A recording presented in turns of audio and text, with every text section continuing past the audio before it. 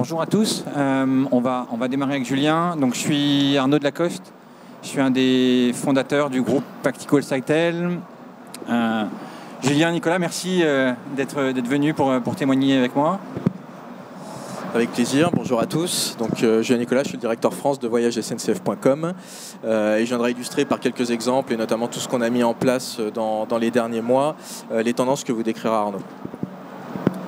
Alors en, un slide, Groupe Practical Sitel, on est troisième outsourceur mondial, un peu plus de 75 000 collaborateurs dans 22 pays. Pour vous donner un ordre de magnitude, on traite entre 3 et 4 millions d'actes par jour, tout actes confondus, euh, téléphone, mail, etc. Euh, depuis 146 euh, sites en, utilisant une cinquantaine, une cinquantaine de langues. Et on fait un chiffre d'affaires d'un peu plus d'un milliard et demi. Ça, c'était la photo d'Actico. La photo de... Vous connaissez alors sur Voyage SNCF, vous connaissez, je voulais juste reposer quelques chiffres puisque ce sera important pour euh, les expériences et le feedback qu'on vous donnera euh, juste après. Euh, donc en 2015, on a réalisé un volume d'affaires d'un peu plus de, 4 milliards d'euros. Ça représente en fait 83 millions de, voyages vendus sur l'année. Aujourd'hui, on a une application qui est assez forte, une application mobile, dont, dont, vous voyez le sigle V. ici. cette application, aujourd'hui, elle est téléchargée par plus de 15 millions de, clients français, ce qui nous donne du coup une position euh, assez massive, avec la chance d'être dans la poche de pas mal de, nos clients. Et vous entendez pas du tout. Si je parle plus fort, ça va mieux? C'est mieux. Euh, donc je disais, on a une application euh, qui est téléchargée aujourd'hui par 15 millions de nos clients, ce qui nous donne une vraie force de frappe et un vrai avantage d'être dans la poche de, tous ces Français et j'espère dans beaucoup de vos poches. Et donc j'y reviendrai tout à l'heure notamment sur comment est-ce qu'on fait jouer cette complémentarité entre tout ce qui est mobile chez nous et puis les nouvelles tendances autour euh, du conversationnel, des bots sur euh, lesquels on est, euh, on est assez présent. Donc voilà, c'était simplement pour redonner ces, quelques données-là. dernier point sur Voyage SNCF. dans les derniers mois, dernière année, on a beaucoup travaillé sur tout ce qui était innovation, comme depuis le, le début notre, notre création. C'est vraiment dans notre ADN.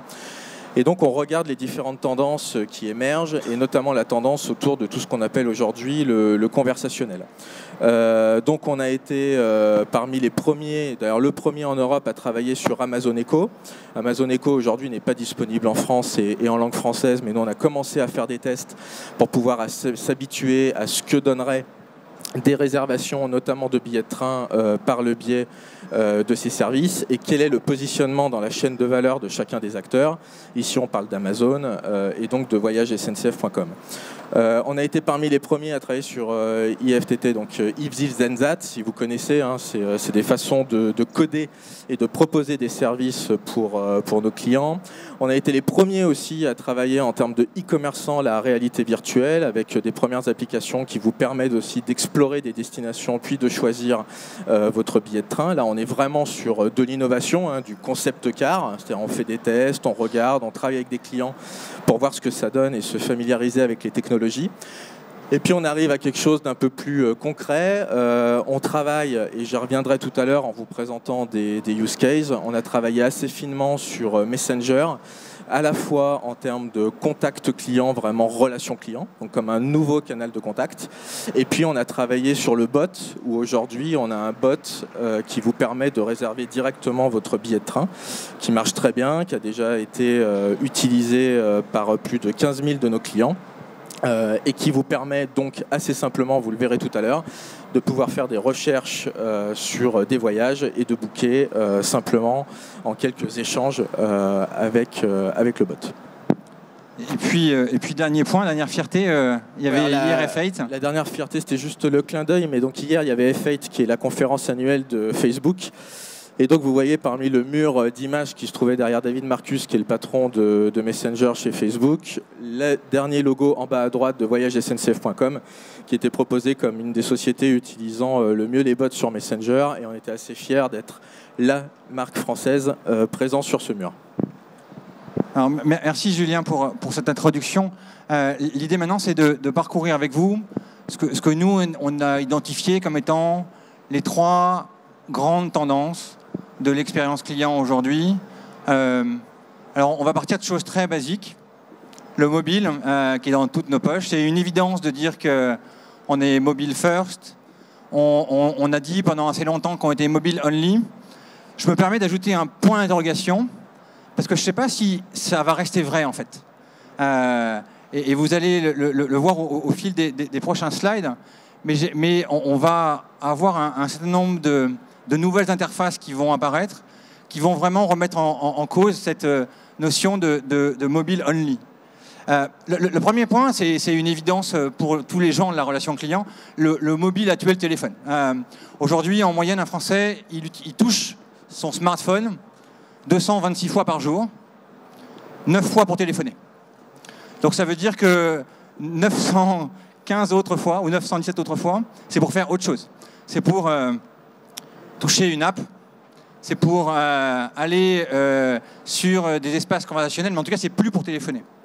Euh, et, nous, notre, notre, vision, c'est qu'on on, est peut-être à, un shift. Euh, il, y a, il y a 10 ans, euh, l'iPhone et, Apple ont créé la notion a, qui a, été un, bouleversement total de la manière dont on, on, échange avec les marques, dans la manière dont on fait du commerce. Aujourd'hui, vous avez une, tendance qui, est apparue depuis maintenant 18 mois et qui devient vraiment euh, explosive, c'est la notion de messaging. Euh, et potentiellement, euh, on, va avoir cette, approche qui va venir remplacer progressivement ce qu'on utilise avec une app. Alors, on, était à San Francisco ensemble avec, Julien il y, a, trois semaines, et on a rencontré l'un des fondateurs de ChatFuel qui, qui fait des bots. Et c'est assez rigolo parce que le, type avait une vision de la différence entre une app et une appli de messaging qui était probablement la meilleure définition que j'ai entendue. Il m'a dit, euh, de toute façon, aujourd'hui, télécharger une app, c'est faire un mariage. Entrer en relation avec une marque, avec un chatbot ou par une, app de par une interface de messaging, c'est un date. Donc je pense que c'est assez juste, c'est de dire, quand on est dans un engagement avec une marque qui va être euh, un usage fréquent, quasiment quotidien, euh, vous êtes un, un abonné, euh, un utilisateur du train euh, quotidien, vous allez avoir l'app euh, Grand Voyageur ou l'app Voyage SNCF. Vous êtes abonné, vous êtes Air France, vous allez, vous prenez l'avion toutes les semaines, vous aurez l'app Air France. En revanche, vous êtes un voyageur occasionnel. Est-ce que vous allez faire l'effort d'aller rechercher dans le store l'app, la télécharger, comprendre la navigation, vous loguer et, après faire un événement une fois, deux fois peut-être? Euh, on, pense, nous, qu'on est à la, fin de ce monde et que ça va changer pas mal de choses. Et donc, quand on, regarde les courbes de croissance du messaging aujourd'hui, la tendance, c'est que vous allez avoir quasiment autant de gens connectés à Internet que de gens connectés à une app de messaging. Alors, il y a un petit peu d'overlap entre WhatsApp et, euh, Messenger. Euh, qui sont à chacun un peu, plus d'un milliard d'utilisateurs. Donc moi, dans ma poche, par exemple, j'ai une app WhatsApp et une app Messenger. Mais il y a quand même des pays qui sont très typés Messenger ou très typés WhatsApp. Vous avez la Chine, qui est un grand pays WeChat et qui, pour le coup, est, un, early adopter du text messaging et qui est pour moi la, quand on regarde la roadmap de Messenger ou de WhatsApp, euh, il suffit de regarder ce que fait WeChat depuis trois ans et c'est un copier-coller des, features qui sont ajoutées les unes après les autres. Mais il n'empêche que dans la, macro-tendance des usages euh, et des interactions avec les marques, on pense vraiment que, le messaging va devenir une, devient et va devenir encore plus une, tendance vraiment importante. D'ailleurs, si on prend l'exemple de, ce qui se passe chez toi, Julien, alors, sur, l'exemple de ce qui se passe chez nous, euh, je vous le disais, nous, on a d'abord abordé le canal Messenger comme un nouveau canal de relation client. Donc d'abord, on s'est dit nos clients sont présents là, comme euh, à une époque ils étaient sur le téléphone, on avait le canal téléphone, ils sont arrivés sur le mail, on a ouvert les canaux mail. Ensuite, on a poussé le chat pour avoir une meilleure interaction pendant le parcours client euh, sur notre site. Et puis aujourd'hui, dans une approche très mobile, euh, effectivement, on ne se sert pas toujours du mobile pour téléphoner, mais beaucoup pour du messaging. Et on s'est dit qu'il fallait qu'on soit présent dans cet écosystème. Donc assez vite, en fait, on a permis aux clients de pouvoir nous contacter via Messenger en termes de relations clients et nous pouvoir interagir avec eux et leur répondre. Et puis on a essayé d'ajouter un certain nombre de fonctionnalités qui nous paraissent euh, utiles et s'intégrant parfaitement euh, dans cet écosystème digital autour de, la marque voyagesncf.com.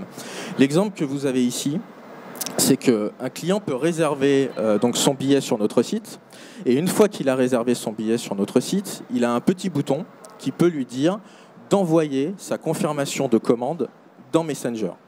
Et en fait, en plus de recevoir votre mail de confirmation habituel, vous recevez aussi la confirmation de commande directement dans Messenger, c'est ce que vous voyez ici. On a déjà euh, plus de 100 000 clients qui ont décidé d'envoyer cette confirmation dans, dans Messenger. Et ça, ça leur permet notamment en situation de mobilité, de retrouver très très vite dans votre fil, quand vous ouvrez Messenger, vous voyez les conversations qui sont en cours avec vos amis, avec vos connaissances, et vous voyez euh, donc au contact voyagesncf.com votre confirmation de commande. D'un clic, vous arrivez dessus, vous pouvez retrouver tous les détails, et ensuite vous avez différentes actions qui sont possibles. Si vous souhaitiez par exemple modifier, bah, vous êtes renvoyé directement sur notre site responsive pour modifier. Si vous avez une question, eh bien, vous pouvez directement rentrer sur Messenger en relation avec un conseiller client. Donc là, on essaye de faciliter la vie du client en lui permettant de retrouver les informations de façon très naturelle dans les applications qu'il ouvre plusieurs fois par jour et ensuite d'entrer en interaction avec nous. Donc aujourd'hui, c'est cette vraie réussite avec, je vous le disais, plus de 100 000 clients qui ont déjà envoyé cette notification dans Messenger. Le service va être déployé de plus en plus. Au début, il était éligible euh, qu'aux encartés, puis après qu'aux, euh, par exemple, tarifs non échangeables, non remboursables. Et puis là, on est en train de le déployer sur l'ensemble de notre gamme tarifaire, donc les chiffres vont, vont monter de façon euh, vertigineuse. Et vous voyez derrière, ça a généré 3000 conversations vers des conseillers voyage SNCF.com. Donc on voit qu'à la fois, ce n'est pas une explosion des contacts et qu'on a eu raison, nous, de ne pas en avoir peur, et en même temps que ça joue à une vraie complémentarité et qu'il y a encore derrière le rebond humain et toute la valeur ajoutée de nos conseillers, si besoin d'accompagner le client plus finement. Ce qui, est, vraiment intéressant, c'est la notion de progressivité. C'est-à-dire que c'est, il ne faut pas avoir l'implémentation d'un canal Messenger comme un sorte de Big Bang. Euh, vous pouvez le faire en segmentant vos clients, en, dans la mesure où ça s'appuie sur des logiques de data, donc de connaissances clients. Libre à vous d'ouvrir ce canal à une cible particulière, à une zone géographique particulière, enfin en fonction d'éléments de, de segmentation qui vous paraissent pertinents. Donc c'est vraiment notre point de vue quelque chose qui peut être à la main de la marque et sur lesquels ben, le tuyau est ouvert en fonction euh, d'un ROI qui existe, qui n'existe pas, euh, d'une approche euh, par typologie d'acte qui est pertinente, qui ne l'est pas.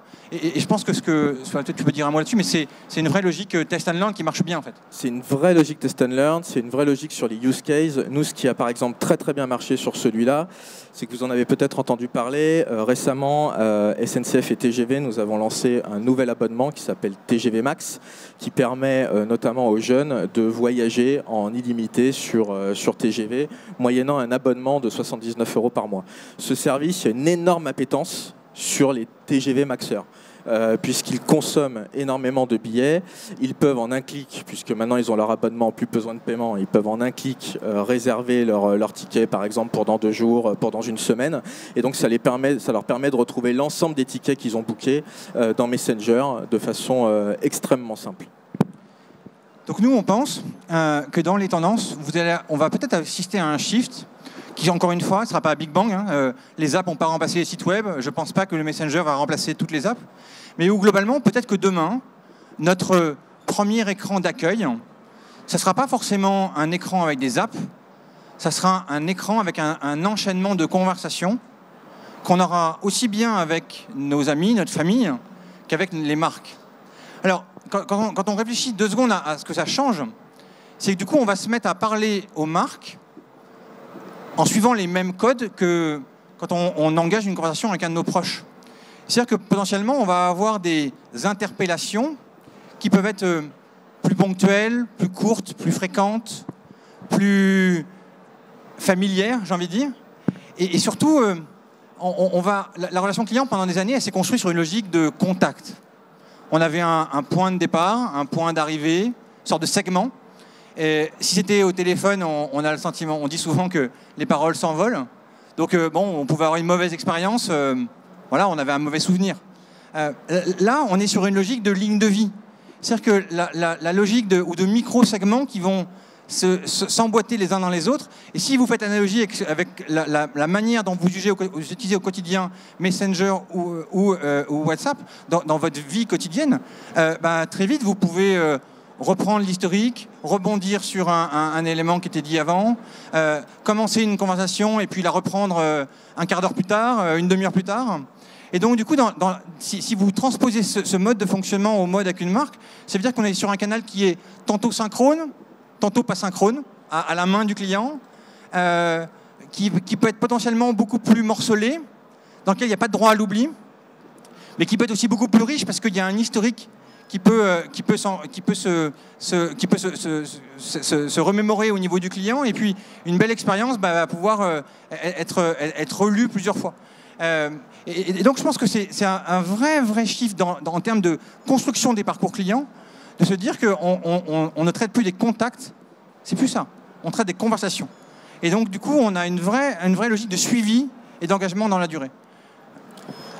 Peut-être juste pour, pour compléter sur l'aspect de conversation, il y a un élément qui est extrêmement changeant dans la relation client, c'est un peu la, conversation sans fin. Euh, ce dont on s'aperçoit, c'est que finalement nos clients peuvent prendre contact avec nous via Messenger, mais ils n'arrêtent jamais la conversation, puisque la conversation reste là, elle est persistante, et il peut la reprendre à n'importe quel moment. Et aujourd'hui, du coup, ça remet aussi en cause euh, l'ensemble de la façon dont on peut avoir de fonctionner avec, par exemple, nos outsourceurs, nos partenaires, par exemple Actical Cytle, puisqu'aujourd'hui, euh, c'est moins un mode à l'acte avec ça commence à un moment, ça se termine à un moment. Euh, aujourd'hui, c'est un peu cette ouverture continue vis-à-vis du client euh, qui a sa décision, l'ouvre, la referme, est là, n'est plus là. on a un petit peu cette discussion persistante avec nos clients qui s'installent. Et, donc, pour, faire des analogies avec des choses que vous connaissez bien, comme le First Call Resolution, hein, qui était un indicateur clé de notre industrie pendant des années, demain, ça n'a pas forcément de sens. Parce que à quel moment on clôture le contact? Est-ce que ça fait sens d'avoir une logique de clôture? Parce que peut-être que ce qu'on veut, c'est juste un engagement permanent, parce que le ROI, est potentiellement plus important en fonction de l'engagement du client. Donc ça veut dire qu'on a un, ensemble de métriques à réinventer dans, les années qui viennent qui vont potentiellement bouleverser une grande part de notre industrie, euh, dans la manière dont les marques vont interagir avec leurs outsourceurs, dans la manière dont les directions de relations clients vont piloter leurs relations clients, dans la manière dont les campagnes marketing vont être construites, dans la manière dont le ROI va être mesuré, parce que c'est des nouveaux KPI qui peuvent, être, qui peuvent être créés. Et puis, tout à l'heure, je mettais un point d'interrogation derrière euh, mobile only, parce que vous avez ça. Euh, aujourd'hui, que ce soit au niveau d'Amazon avec euh, le, boîtier Alexa, que ce soit au niveau de votre téléphone avec euh, le bouton Siri ou l'interface vive euh, chez, chez, Samsung, que ce soit avec Google Now, on, va commencer à parler à des objets. Et du coup, quand on, quand on, donc on est dans la conversation, donc on est dans la droite ligne de, de, la démarche conversationnelle qui est, qui est c'est jamais qu'une étape de plus, hein, sauf qu'elle se fait sans écran. et quand on réfléchit à toutes les les enjeux que ça pose de se dire j'interagis avec une marque mais j'ai plus d'écran. Ça veut dire que demain, par exemple, Google peut disparaître. Parce qu'il n'y a plus d'écran, il n'y a plus de search. Aujourd'hui, vous parlez à Alexa d'Amazon, c'est Alexa qui cherche. Demain, euh, vous dites à Alexa, Alexa, achète-moi un billet de train. Est-ce qu'Alexa l'achète sur euh, Voyage SNCF est-ce qu'Alexa l'achète pas directement au niveau de la base de, SNCF directement?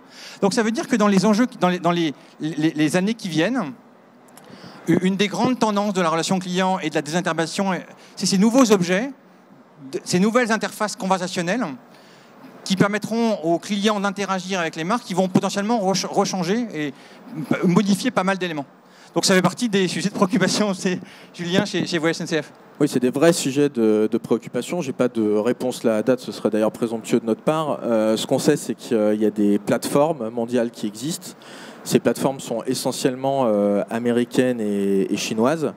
Euh, et c'est ces plateformes aujourd'hui qui permettent ce, type, ce type de service.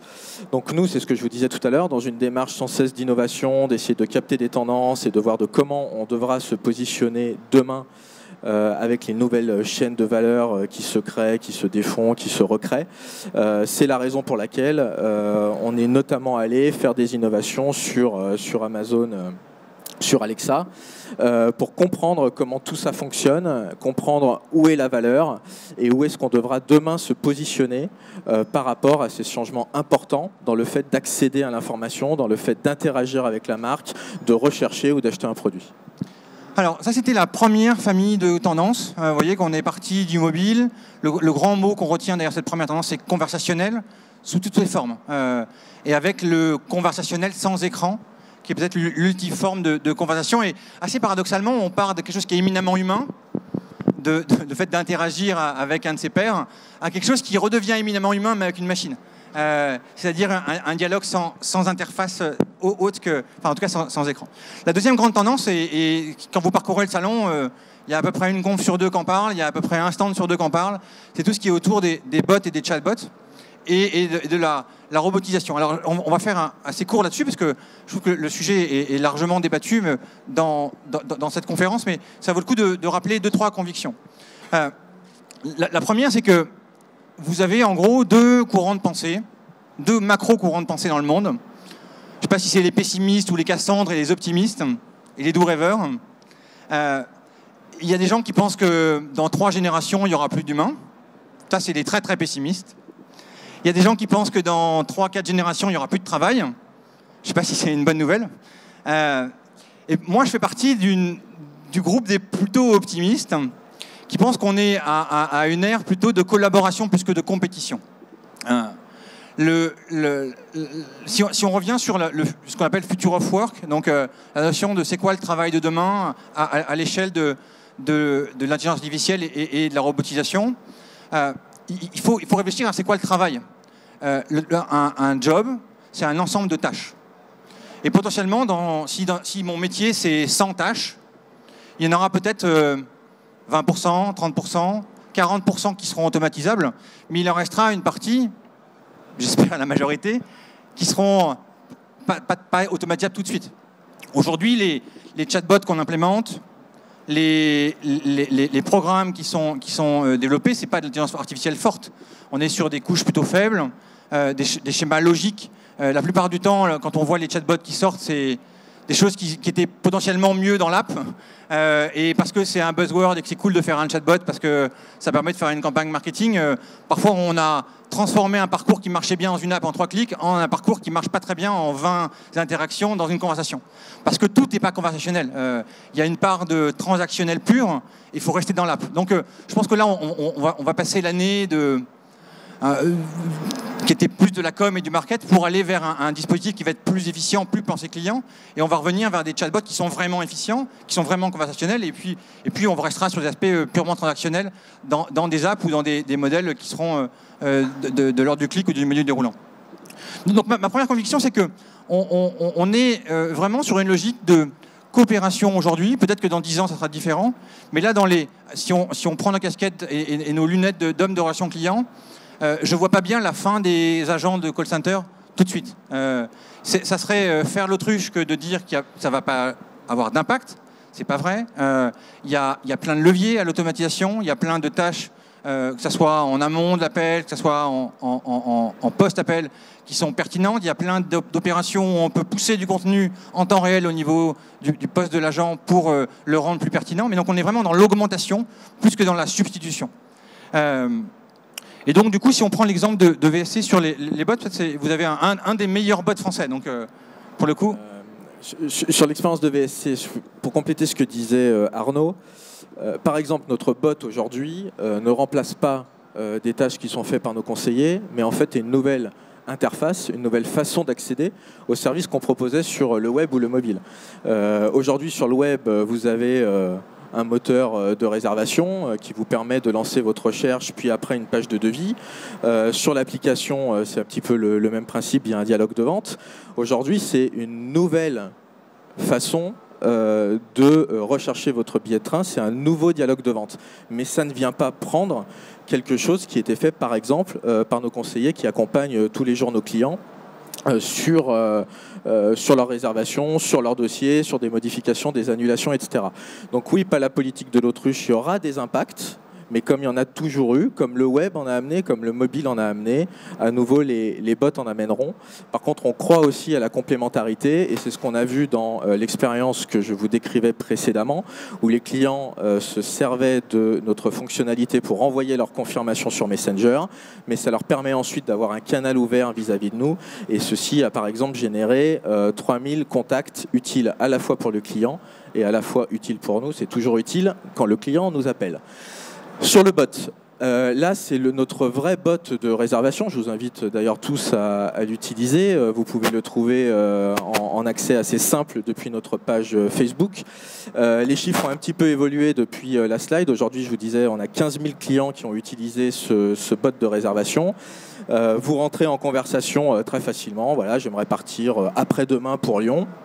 Il va vous demander, bah, tu m'as pas dit d'où, si vous n'êtes pas géolocalisé, de Paris, vers quelle heure? À partir de 18h et il vous pousse euh, une réponse comme celle que vous voyez à l'écran, que vous pouvez euh, slider d'un doigt pour euh, voir le départ après 11h, celui de midi et demi, celui de 13h30, celui de 14h30. Et ensuite, d'un clic, vous pouvez aller finaliser la réservation sur notre web responsive directement dans, dans, le panier ou poser une option, ce qui est fait automatiquement, et vous pourrez ensuite la payer plus tard. Euh, ce bot, effectivement, aujourd'hui fonctionne très bien. Surtout, ce qu'on a vu, c'est quoi? Euh, C'est qu'il est extrêmement euh, rapide et que finalement, par rapport à notre interface web, c'est extrêmement simple. simplement en 2-3 rebonds avec le bot, d'arriver à la pose d'option ou à la réservation. Le deuxième point, c'est que les clients qui l'ont utilisé ont un taux de satisfaction qui est élevé autour de 80%. Et surtout, on voit très vite les clients interagir comme ils interagiraient avec un humain. Alors, euh, ça c'est le côté optimiste ou pessimiste, ça peut aussi inquiéter, mais très très vite, on voit que le client finalement fait euh, comme dans une conversation normale, en utilisant euh, son langage habituel, et puis peut d'ailleurs sortir assez vite du cadre, où on a pas mal d'interactions avec le bot sa blague. Notre, bot est, très blagueur, il a pas mal de blagues en stock, vous pouvez le, tester. On a beaucoup de clients qui, à la fin de la résa, euh, lui demandent une petite blague pour, agrémenter la journée. Euh, voilà, donc tout ça, c'est aussi de, la richesse de voir comment est-ce qu'on arrive à mieux interagir avec le client. Au-delà de ça, ce qu'on voit, c'est que très très vite, le client se dit finalement, bah, le bot existe, donc je peux un peu tout faire. Et au lieu d'être simplement sur la réservation, va très vite poser euh, plein de questions. Et donc là, c'est ce qu'on a prévu dans la nouvelle version de notre bot, c'est qu'en fonction de vos premières questions, vous allez être vite orienté. Soit vous continuez le dialogue avec le bot et vous pouvez faire votre réservation, soit ça sort du cadre. Et là on a un rebond naturel euh, vers euh, notre relation client. Et toujours en restant sur le canal Messenger, on peut interagir avec, euh, avec nos conseillers clientèle. Donc c'est vrai qu'on aime bien ce bot, on l'aime bien d'abord parce qu'on a, on a été les premiers en, en, France à lancer un bot sur, sur Messenger, qu'il a plu euh, aux premiers clients qui l'ont testé. Au début, on l'a lancé de façon, euh, euh, on va dire, pas très visible, c'est-à-dire en bêta, donc il fallait vraiment venir le chercher pour le voir, mais il n'était pas poussé. Aujourd'hui, comme on est convaincu qu'il tourne bien, on le poussera de plus en plus, parce qu'on est assez fiers, et je vous disais, les retours, les retours sont assez bons. Euh, et donc on va continuer d'apprendre comme ça dans la logique qu'a toujours eu voyagesncf.com, de test and learn, euh, d'avancer. Euh, on avait fait des tests un jour sur le mobile et puis c'est devenu cette, puissante application. Aujourd'hui on fait des tests sur les bots et c'est le client qui décidera en fonction de son usage si le service décolle ou pas. Alors tout à l'heure je vous parlais de, cette logique de, de dire ben, un, l'intelligence artificielle, les bots vont potentiellement. Euh, Bonjour, je suis. Euh, Il y a un bot qui interagit dans la machine. Euh, vont, potentiellement disruper ou, ou, détruire une partie de nos emplois. il y a aussi un grand pan, c'est que ça va créer des nouveaux métiers. Et, si on applique au, au, métier de la relation client, moi j'ai une conviction, c'est qu'on a une richesse infinie avec nos conseillers. Un conseiller client, c'est quoi? C'est quelqu'un qui connaît une marque, connaît les produits, connaît les process, accès à la data. C'est le meilleur entraîneur possible pour entraîner un bot. Parce que l'intelligence artificielle, elle est intelligente, certes, mais pas toute seule. Elle, est intelligente quand elle, pour être intelligente, elle a besoin de data, de process et d'entraîneurs. Euh, et aujourd'hui, euh, l'entraînement des bots, l'entraînement des intelligences artificielles, il est plutôt confié à, à, des data scientists, à des gens très chers, dans des laboratoires, etc. Ma conviction, et c'est ce qu'on est en train de développer au niveau du groupe Actical Cytel, c'est on, pense qu'on a dans les mains, entre nos mains, une richesse formidable, c'est de dire nos, nos conseillers peuvent devenir, demain les meilleurs entraîneurs possibles de bots. Parce que si on laisse un bot tourner en, termes de je vais répondre à un client, le conseiller, il, il, ferait le job. Donc il peut très bien regarder ce qui se passe et corriger, interagir, former le bot. Et puis demain, une fois qu'on aura des bots qui tourneront et qui feront des choses de plus en plus intelligentes, ou de plus en plus autonomes, on peut très bien imaginer que ces, conseillers ils deviennent des, managers de bots, donc des gens qui vont superviser le travail de 2, puis 5, puis 10, puis 50 bots. Et euh, au même titre que dans un plateau de centre de contact, vous pouvez avoir euh, un agent qui lève la main pour dire euh, j'ai besoin d'une aide d'un superviseur. Demain, vous aurez un bot qui lèvera la main en disant hey, j'ai besoin d'une aide parce que là, ce, que, ce, à quoi je suis confronté, c'est pas tout à fait ce, à quoi on m'avait programmé, ou en tout cas, j'ai jamais été programmé à ça. Et donc, du coup, si on y pense bien, parce qu'aujourd'hui, quand, on nous parle d'intelligence artificielle, on nous parle de destruction d'emplois, on nous parle de plein de choses comme ça, mais on voit jamais le côté la technologie, elle est au service de l'homme. Euh, quand, l'homme a taillé une pierre pour faire un silex, euh, c'est pas le silex qui a, qui a dominé l'homme, c'est l'homme qui a dominé le silex. Donc là, c'est la même chose. C'est jamais que la même transformation depuis la nuit des temps, où, ma conviction, c'est qu'on a potentiellement, au sein de nos équipes de relations clients, les, futurs euh, managers et entraîneurs de ces forces automatisées. Et ça, c'est potentiellement un, une transformation, alors qui est progressive, qui ne sera pas du jour au lendemain, etc. Mais euh, la seule limite aujourd'hui, c'est l'interface euh, qui doit être simple, qui doit être user-friendly, qui doit être designée pour un agent. Mais sinon, la, connaissance, euh, ce qui est la chose la plus complexe à acquérir, elle, est, elle est, déjà au, niveau de nos équipes et de nos plateaux. Donc, si, je devais rajouter une couche d'optimisme, c'est que non seulement je pense qu'on n'est pas à l'ère de l'IA forte qui permettra de complètement tuer nos emplois, mais en plus, on a on a potentiellement une réserve de nouveaux emplois qui sont, qui sont devant nous. Donc deuxième tendance, automatisation, mais conviction d'optimisme plus que, de pessimisme et, plein de, nouvelles interactions possibles qui créent plus d'engagement et donc plus de chiffre d'affaires. La, dernière euh, tendance que, que nous identifie et sur laquelle on travaille beaucoup, c'est la notion de contexte. Aujourd'hui, euh, le mot big data, il est plus, euh, je ne sais pas si c'est un mot à la mode ou plus à la mode ou galvaudé ou qu'on va plus réutiliser. En tout cas, cette masse de data, qui est présente au niveau des marques. Alors, quand c'est pas simple hein, de savoir les, utiliser euh, à, bon escient et les comprendre, mais quand on croise l'ensemble des données qu'on laisse sur les réseaux sociaux de manière euh, volontaire, bénévole, tout, ce qu'on poste sur Facebook, tout ce qu'on poste sur Twitter, toutes les traces qu'on laisse partout, croisé avec les données qui sont propriétaires des marques, ça fait une somme de données qui permettent aux marques qui font l'investissement et qui décident d'investir sur ce sujet-là, de comprendre notre contexte de consommation. Et ma conviction, c'est que la relation client de demain, elle va devenir hyper personnalisée et hyper contextualisée. Et qu'aujourd'hui, les, les champions qui vont savoir prendre des positions, j'ai envie de dire, de leader et d'expérience, en termes de leader d'expérience sur je sais parler à mon client au bon moment, en lui poussant la bonne info, parce que c'est dans son bon contexte de consommation, ils vont décider de ce qui va être le nouveau standard de l'exigence client de demain. Euh, et, donc, du coup, c'est un peu compliqué parce que ça veut dire mélanger des données externes, euh, acheter des données chez Facebook, acheter des données chez Twitter, etc. Euh, c'est savoir trier ses propres données, aussi bien les données qu'on a dans nos, centres de relations clients, mais aussi les, données d'achat et, de trafic sur nos sites, de trafic magasin, etc. Mais, les marques qui arriveront à faire la bonne alchimie et le, bon mix de ces données seront potentiellement les, gagnants de demain. Deuxième élément qui est lié à ça, c'est que aujourd'hui la notion de vérité et de transparence, elle est incontournable. Aujourd'hui, une marque peut plus permettre de mentir. Tout est public. Et donc, plus que jamais, la, notion, l'exigence de vérité est, au cœur de la relation qui va sous-tendre la, relation entre les marques et, les consommateurs à l'ère de l'âge du contexte. Lié à ça, il y a cette notion aussi de sécurité, de cybersécurité. Euh, je ne sais pas si certains d'entre vous ont lu le dernier rapport de la, CIA sur euh, les risques à, 25 ans. Euh, la cybersécurité est le premier risque mondial. Et, les, guerres de demain ne seront vraisemblablement pas des guerres terrestres, seront des guerres numériques. Et donc, du coup, on, s'aperçoit que, assez paradoxalement, comme je disais tout à l'heure, on, laisse gratuitement, de manière très inconsciente, parce qu'on a un service qui est cool, qui est de laisser des données à Facebook, pour, plein d'avantages. Hein, on, laisse quand même beaucoup, beaucoup d'infos traîner sur nous partout. Euh, et donc je pense que demain, ça va devenir un enjeu encore plus important. Et donc, euh, je suis, moi, je vis aux États-Unis. quand on fait les parallèles entre la relation client en France ou en Europe et aux États-Unis, il y a deux grandes tendances. Les Français, on peut être super fiers parce qu'on est vachement plus en avance et vachement plus innovant. En revanche, en termes de sécurité, les Américains ont 10 ans en avance sur, euh, en termes d'exigence sur ce qu'on on, demande aux opérateurs de la relation client. Et donc, je pense que demain, en France, en Europe et dans tous nos pays, ça va devenir une, vraie tendance plus importante. Et puis, ben, tout ça mis bout à bout, ça fait qu'on va avoir des consommateurs qui vont être encore plus exigeants, euh, aussi bien au niveau de l'attente que euh, de la proactivité relationnelle que du contact au bon moment, du juste produit, au, dans, le bon timing de consommation.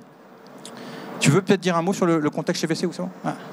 Euh, Et donc, en, synthèse euh, de ces trois tendances, pour nous, notre conviction, c'est que demain, on va avoir potentiellement des canaux qui vont être un peu plus importants et surtout des nouvelles manières de voir et de penser la relation client, avec euh, potentiellement plus d'échanges, plus courts qu'avant, euh, c'est-à-dire que le fameux appel de 3 minutes, de 5 minutes, c'est plus forcément ça. Plus fréquent, plus bref, plus diversifié. Euh, L'omnicanalité, euh, qui est quelque chose dont on parle depuis 20 ans dans le salon, va, être plus qu'un mot, ça va devenir une vraie exigence de base. Parce que si on veut comprendre les contextes de consommation des clients, il faut qu'on s'affranchisse de cette logique de, canaux. Et puis, si on veut avoir un mot très positif sur, sur la relation client et sur ce point qui est ma plus grande conviction, euh, c'est de dire que la relation client pour moi, c'est potentiellement le dernier rempart contre la disruption. Aujourd'hui, si on prend l'exemple de, de marques comme VSC, euh, la meilleure protection de Voyage NTF pour être, euh, éviter d'être disrupé par un Siri, par un Alexa ou par un Vive qui aura l'intention de directement acheter un billet à la source sans passer par le distributeur, parce que Amazon ou surtout votre, smartphone aura un, grand avantage pour la proactivité, c'est qu'il connaîtra votre agenda. Et donc, euh, à partir du moment où dans mon agenda j'ai écrit demain je vais à Lille, euh, qu'est-ce qui empêche Siri de me, proposer de manière proactive Hé Arnaud, demain tu vas à Lille, et si je te proposais un billet? Voilà les trois choix possibles. Et d'attaquer directement la base de la SNCF sans passer par Voyage SNCF. Ma conviction, c'est que pour éviter cette disruption, ce qui fera la valeur et ce qui est peut-être le, plus complexe, c'est pas tant la tuyauterie, c'est pas tant le système transactionnel. Amazon, euh, ils font des transactions depuis la nuit des temps. Euh, Amazon, c'est une boîte de soft, c'est pas une boîte de produits.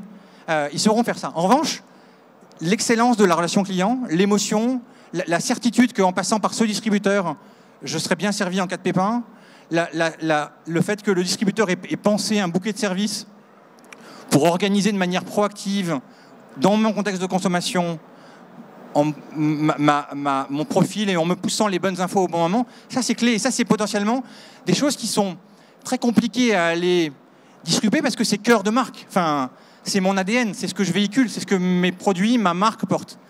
Et donc ma, ma conviction, c'est plus les marques investiront demain dans l'expérience client, plus elles mettront des limites et des barrières et une sorte de muraille de Chine à, à l'invasion d'un envahisseur pur numérique qui, euh, parce qu'il n'aura plus besoin d'écran demain, parce qu'il sera dans la poche de tous les clients et parce qu'il y aura potentiellement un avantage clé qui est de connaître euh, mon agenda et puis d'avoir accès à pas mal de mes données en temps réel, bah, aura envie de me disrupter et, de créer des nouveaux modèles.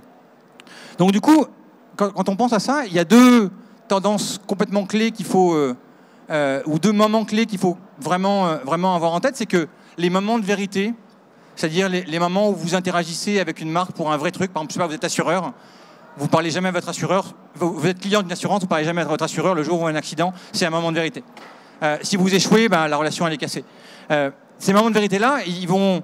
Alors l'assurance, ça fait des années qu'ils ont compris, pas forcément toujours bien, mais en tout cas, mais dans toutes les marques, des marques qui n'avaient pas de moments de vérité, demain ils vont avoir des moments de vérité.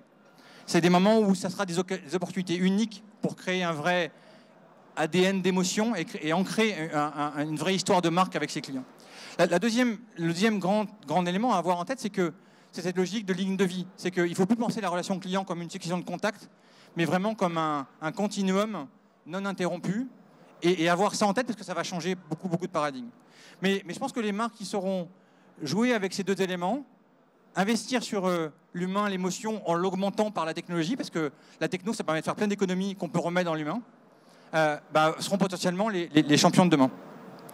Alors, juste en, conclusion, nous, ce qu'on construit au sein du groupe depuis maintenant euh, une dizaine d'années, c'est un peu ça, c'est de dire on n'est pas des vendeurs d'OTP, euh, on est des, fournisseurs de solutions globales et donc on a un écosystème de, structures qui accompagnent nos clients sur toute l'expérience. Et aujourd'hui, des gens comme Voyage SNCF, on les accompagne sur leur, les centres de contact évidemment, mais aussi la relation client digitale, aussi la construction des parcours clients demain, potentiellement de, la formation, etc. mais, c'est un, vrai dispositif global d'évolution et ce n'est pas des choses figées qu'il faut, qu'il faut, concevoir. Donc c'est beaucoup d'excitation, je pense, les années qui sont devant nous, euh, beaucoup d'opportunités et, beaucoup d'agilité parce que les choses vont changer assez vite. Je vous remercie. Alors, il nous reste euh, une petite dizaine de minutes si vous avez des, questions pour, euh, pour Julien ou moi. N'hésitez pas.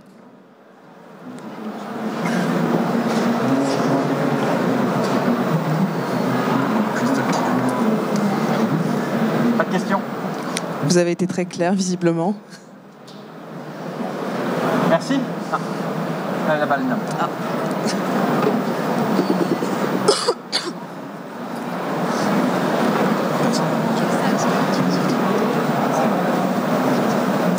Bonjour, c'est Christine. Merci pour l'intervention, c'était euh, très fructueux. Euh, une petite question euh, pour Voyage SNCF et pour l'utilisation du bot et de la satisfaction client. Vous aviez noté que la, satisfaction client est de l'ordre de 80%. Quelle, est le, quelle, est la mesure ou le KPI qui vous permet de, vraiment mesurer ce niveau de satisfaction? Ça, c'est de 1. De 2, dans le bot, on a un recueil d'informations et, et, une base de données qui n'est pas négligeable. comment le client, il est comment dire, comment le client il est bien, euh, il est bien sûr que, que, son information elle est bien sécurisée et elle n'est pas propagée et distribuée à d'autres personnes. Merci. Euh, alors sur la première question concernant la satisfaction client, il y a deux euh, KPI qu'on regarde très fortement. Le premier c'est la conversion. Je l'ai dit, c'est un bot de vente. Il nous sert à faire du business. Et donc on regarde la pose d'option et le taux de conversion sur les billets qui sont qui sont euh, recherchés, donc entre euh, le nombre de requêtes euh, et, le nombre de billets achetés. Et il se trouve qu'aujourd'hui, ça je le garderai pour notre cuisine interne, mais les taux de conversion sont extrêmement bons, et ce qui nous pousse donc à pousser ce, ce bot de façon forte.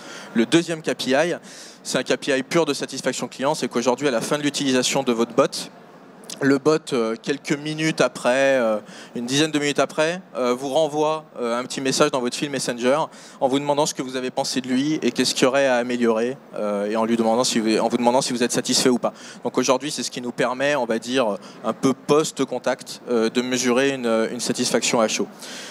Sur le point des données personnelles, on me pose souvent la question parce que c'est évidemment quelque chose qui nous concerne tous. Aujourd'hui, sur ce qui transite sur Messenger, coup je suis très clair, le client a accepté les conditions générales de Messenger, et donc euh, ce sont les conditions générales de Messenger qui s'appliquent sur ce qui transite sur la plateforme. Nous, pour assurer le niveau de sécurité maximum, nous avons décidé que si vous ne souhaitez pas poser une option, mais carrément faire le paiement, là, vous basculez sur une web view, ça ouvre euh, une fenêtre en West responsive de notre site et vous finalisez de payer chez nous et vous avez l'assurance comme d'habitude qu'il ne se passera rien avec votre paiement sur euh, voyagesncf.com. C'est la raison pour laquelle aujourd'hui on n'utilise pas d'autres sites de paiement. On verra demain si on les estime assez sécurisés, mais pour l'instant on oblige à repasser chez nous.